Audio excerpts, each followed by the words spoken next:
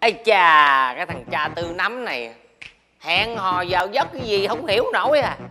Nói là bữa nay là qua nhà mình để mà đàm đạo bây giờ tối mờ tối mệt rồi không thấy mặt mày đâu hết. À.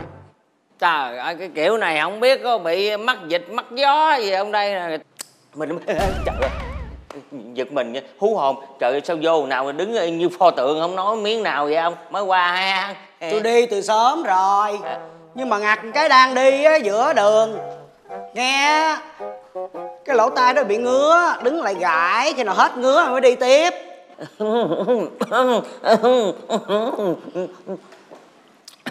Thôi nóng gì không biết. Ngồi đi. Ngồi nãy giờ rồi. Ủa ngồi rồi hả? Chờ ông mời thôi uống miếng nước ờ, bớt giận đi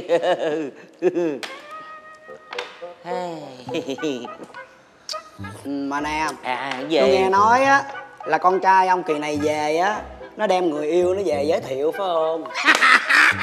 Công nhận. À, ông này ông, ông lớn tuổi mà tai còn thính ghê ha.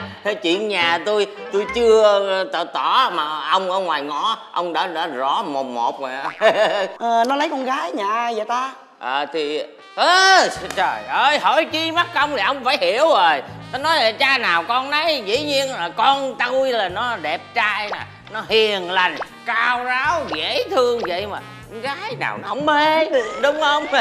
Mà tôi nghĩ chắc chắn là cái cái người con gái mà nó quen á mà nó đem về nó giới thiệu cho tôi xem mắt á bảo đảm với ông là thùy mị nết na xinh đẹp duyên dáng dịu dàng chắc chắn một điều là không phải là con gái nhà ông đâu. Thôi vậy nha cha nội. Cứ vô duyên vừa phải thôi nghe. Làm vô duyên? Tôi hỏi con trai nhà ông nó lấy con gái nhà ai? Mắc mới vừa lôi con gái nhà tôi vô hả? Ờ ờ ờ. con của tôi tôi nói cho ông biết. Sao? nó là cành vàng lá ngọc của tôi. Con trai của ông không có cửa mà mó vô đâu trời ơi xin lỗi ông à. Ông nói gì? Cành vàng lá ngọc à. Nó thiệt ông à con trai tôi nó không thèm ngó nữa chứ ở đó mà mó.